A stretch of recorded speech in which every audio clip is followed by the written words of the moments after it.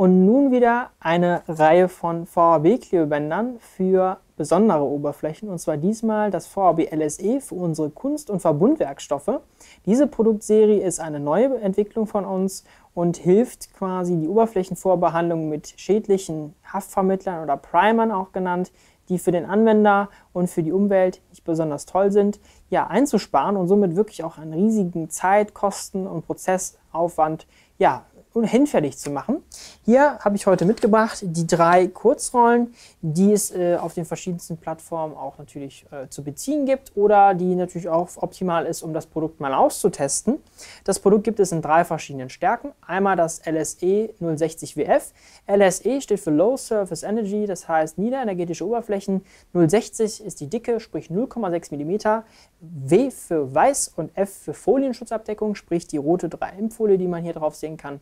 Dafür steht das F. Die 110er Version ist die 1,1 mm Stärke und die 160er ist die 1,6 mm Stärke. Hier in dem Fall natürlich in einer handlichen 3 Meter Rolle in einem Karton verpackt, sodass wirklich auch für kleinere Prototypen das Produkt wunderbar geeignet werden kann. Besonderheit neben der hinfälligen Oberflächenvorbehandlung ist auch, dass diese Produkte auf einer frostfreien Oberfläche von bis zu 0 Grad angewendet werden können. Das heißt, auch kalt, auf kalten Baustellen können die Produkte schon angewandt werden, was sehr, sehr äh, besonders ist.